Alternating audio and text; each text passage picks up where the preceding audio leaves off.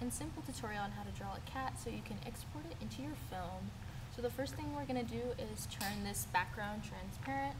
So I'm going to add a new layer and then just delete the background. And now we have a transparent layer.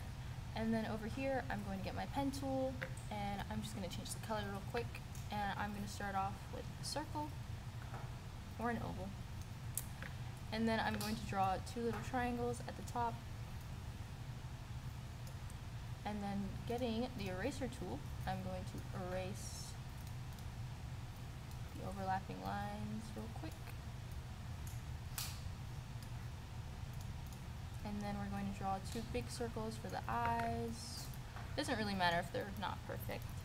And then an oval for the nose, a line, two lines for the eyes, and the whiskers.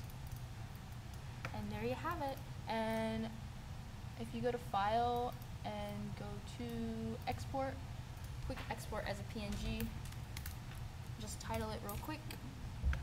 Then you should be able to export it into Final Cut and you have your little cat. Alright, goodbye.